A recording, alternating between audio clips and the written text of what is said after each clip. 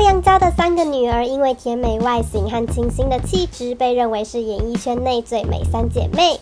其中刚满二十三岁的二女儿欧阳娜娜，最近在节目是好朋友的周末中，和 Angelababy 精进聊天过程中，抱怨自己有猫咪纹，让一旁的 Baby 傻眼到表情管理失控，引发热议。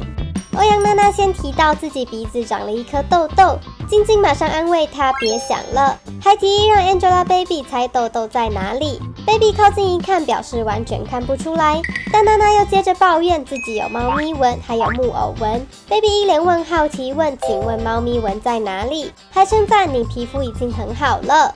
没想到欧阳娜娜继续聊着猫咪文话题，让 Baby 立刻露出尴尬微笑。这一瞬间的表情也被截图疯传，网友们纷纷表示：“Baby 的微笑唇都笑不出来了。”Baby 这段无语演得真不错。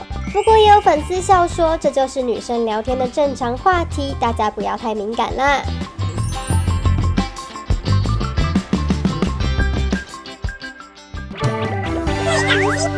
”